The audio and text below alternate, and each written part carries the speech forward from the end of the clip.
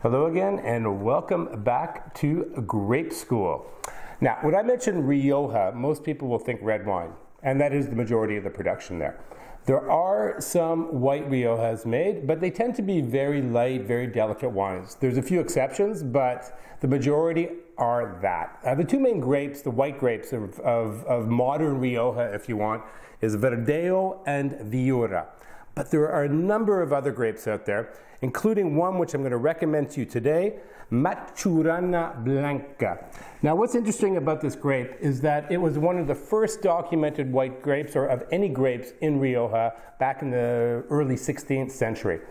But it was almost extinct as of a couple of decades ago. Why? It was really tough to grow, mold, mildew, and people like to get lazy and just grow things that are very easy.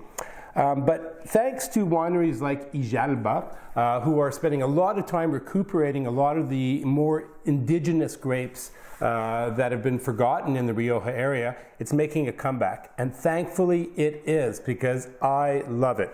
What is Maturana Blanca? Well, for me, it's the perfect mix between refreshing wine, uh, refreshing wine and a very richer, more textural wine. You smell it, tropical fruits, white flowers,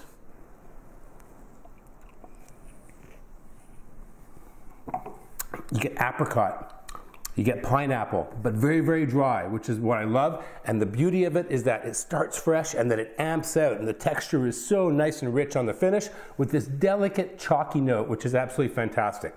Now, 2013 Matura Ana Maturana Blanca from Ijalba uh, just came out, so there's enough out there. 23.50, so it's a little bit more expensive than what I normally recommend, but with crab, lobster, and shrimp all happening really soon, it's absolutely the perfect choice. So, Rioja Obscura, Maturana Blanca.